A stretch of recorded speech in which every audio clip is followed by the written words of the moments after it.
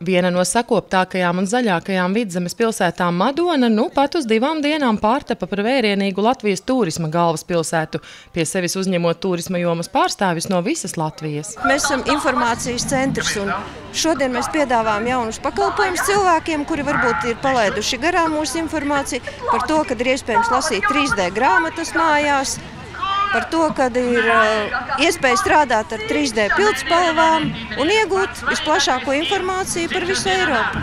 Laipni gaidīti bibliotekā. Es vispār pirmo reizi šādā pasākumā pārstāvu. Man pārsvarā visi jau mani zina un brauc pie maniem ciemos.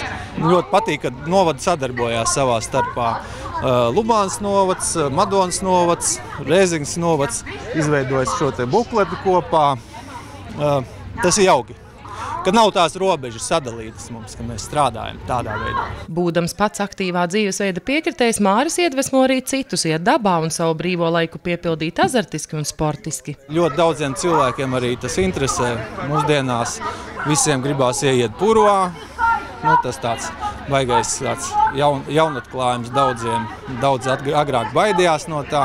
Man viņi jāpārliecina, ka tas ir normāli un, un tur ir ļoti skaisti. Bet purvs nav vienīgā aktivitāte, ko jūs piedāvājat? Es piedāvāju la laivu braucienus, vēlā braucienus, dažādas sacensības, piedzīvoju sacensības, skriešanas sacensības, slēpošanas sacensības, visādas aktivitātes, ko vien jūs varat iedomāties. Atsaucība ar katru gadu pieaug un uh, nu, jau pēdējos gados ir jādomā, kā tikt ar to visu galā. Tādēļ, kā uzsver Māris, šobrīd visu plānoto ieceru realizēšanai tiek domāts par kāda kompaniona meklēšanu. Savukārt mērsraks jau savu kompanionu ir atradis. Pirmo reizi startējam kopā ar Roju. Tam par godu ir taps arī īpaši šāds te mūsu Ziemeļkurzemes baners, lai cilvēki uzreiz redzētu, kur tieši ir jābrauc uz jūru peldēties vasarā. Tas ir viens. Otkārt, ar ko īpaši ir mērsraks un Roja, Rojā ir jauna estrāde, kur var baudīt brīnišķīgs vasaras pasākums. Bet no Mērsaga droši vien ne tā kā no Saldzgrīvas var tikt uz Roņu salu, uz Gotlandu un vēl daudz kur citur. Un, protams, Mērsagā var uzkāpt arī bākā. Un jūs šodien arī cienājat? Jā, mēs cienājam ar uh, mājražotāju kūpinājumiem no Mērsaga un arī ar uh, bankas produkciju no Rojas.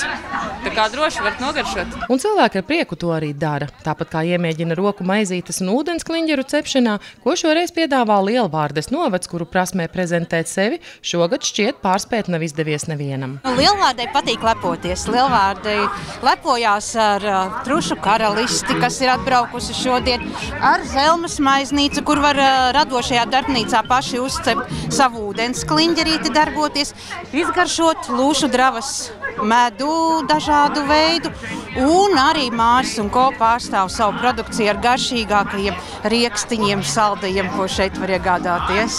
Bet ko šāda turisma informācijas gada tirgi dod jums kā novadam?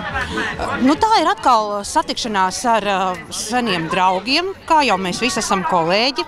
Tā ir informācijas apmaiņa, kas ir noticis jauns, kas ir, kas ir jauns, atklāts, atvērts. Nu, tā ir enerģijas apmaiņa. Tā ir ļoti jauka enerģijas apmaiņa, jo tu satiecies arī ar potenciālo apmeklētāju. Būtiski, ka turisma informācijas tirgus ir divu dienu pasākums. Pirmajā dienā piedāvājot kopīgā ekskursija apmeklēt novada turisma objektus, savukārt otrajā uzzināt par savām vēlmēm atbilstošām apskates, aktīvās atpūtas un nakšņošanas vietām, kultūras un sporta notikumiem, dabas izziņas pasākumiem un turisma akcijām visas Latvijas teritorijā. Šodien pie mums ir ieradusies ciemos, nu es teiktu, visa Latvija. Ir pārstāvēti visi Latvijas novadi, Kurzeme, Zemgale, Pierīga, Vidzeme, Latgale. Un visi šodien stāstam madoniešiem par atpūtas iespējām savās pilsētās un savos novados. Mēs katrs cenšamies un gribam būt savādāks. Mēs katrs gribam būt interesantāks. Mēs katrs gribam būt atšķirīgāks. Un jau šodien es šeit redzu, kad ir kurzemes žāvētās zivis, kad ir latgales kāds graķītis. Mēs visi sacenšamies un visi gribam būt interesantāki viens par otru. Šis ir jau sestais gads, kad tiek rīkot šāda mēroga pasākums ikreiz citā pilsētā, šoreiz Madonā, lieliski iekļaujoties pilsētas 93. dzimšanas dienas svētku kontekstā. Šī ir iespēja parādīt sevi arī citiem un, un citiem parādīt sevi Madonā. Un mums tiešām ir ko lepoties.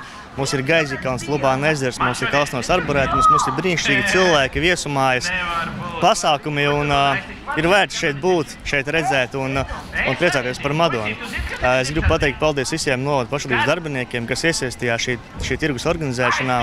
Ir ieguldījis liels darbs, bet tas noteikti ir to vērts ar pievienoto vērtību un ar skatu nākotnē. Jāpiebilst, ka nākamā pilsēta, kas uzņems turisma gada tirgu alaši, tiek noteikta izlozes veidā. Šoreiz laimīgā loze Kurzemes turisma asociācijai, tādēļ nākamgad turisma gada tirgus visus pulcēs Kurzemes pusē. Sandra Zariņa, Kārlis Kumsārs, Vidzemes televīzija.